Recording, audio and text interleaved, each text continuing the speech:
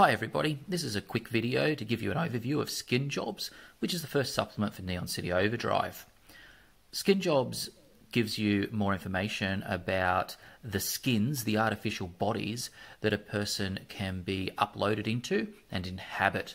They're, these are described very briefly in the Neon City Overdrive rulebook, and there is a few trademarks to represent them, but this goes into a lot more detail so this is the pod copy of the book, and I'm going to make some comments about that at the end of this video. But first of all, let's do a really quick overview of what you get in the book Skin Jobs. It's a 22 page document and it covers basically everything you need to know about these artificial bodies. It describes sort of the pseudoscience behind them, uh, the cultural impact of these artificial bodies, and that sort of thing, uh, and uh, some of the slang and that sort of thing. So a bit more setting detail to sort of beef out the Neon City Overdrive setting. It provides some rules for transference during games. So in Neon City Overdrive, it suggests that if you want to change your skin, do it between jobs. This provides some information on how you might do it during jobs, how long it takes, the consequences if you know things don't go so well, that sort of thing. So you can suffer transfer sickness and that kind of stuff. Uh, the book then has a bunch of uh, new trademarks.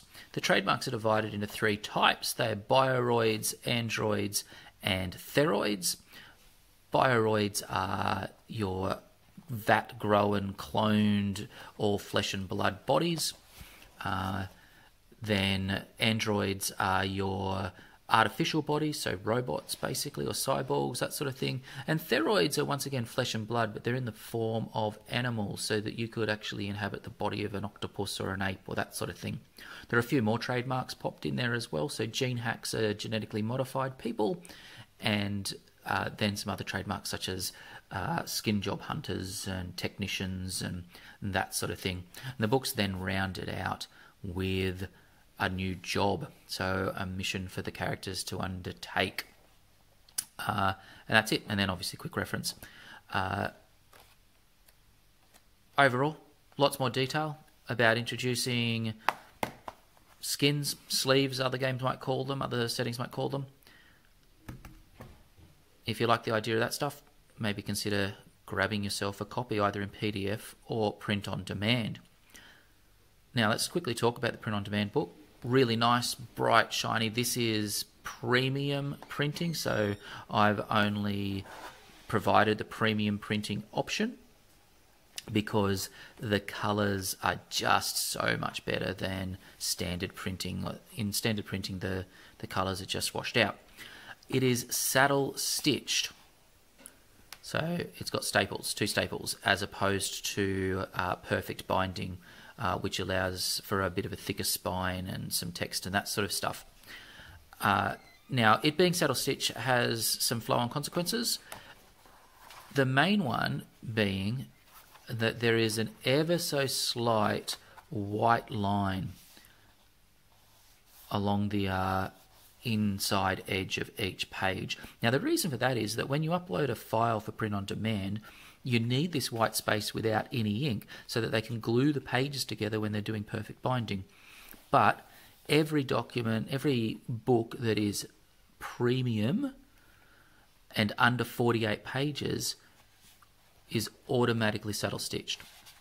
So, uh, so we then, instead of having glue holding these bits of the pages together, we instead just have this white space.